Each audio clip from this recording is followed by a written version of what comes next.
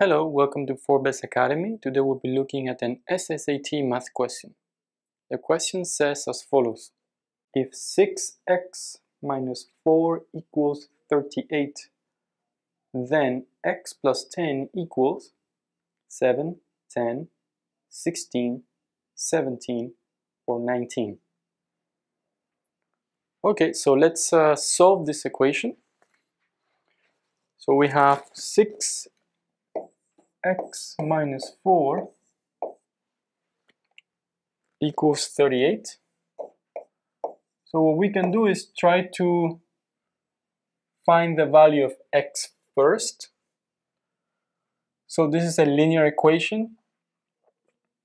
So let's uh, let's remove this 4. So I'm going to add 4 to both sides of the equation.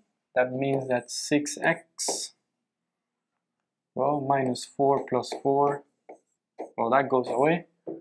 And then whatever I do to the left-hand side of the equation needs to be done to the right-hand side of the equation.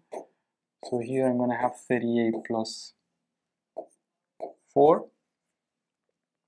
which is of course uh, 42. And so we have 6x equals 42.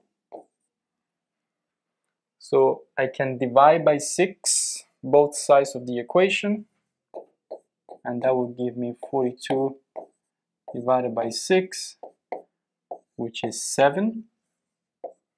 So x is 7. Okay, so since x is 7, then we can find what is x plus 10. Well, x plus 10 is going to be 7 plus 10, which is 17. And so the answer is 17.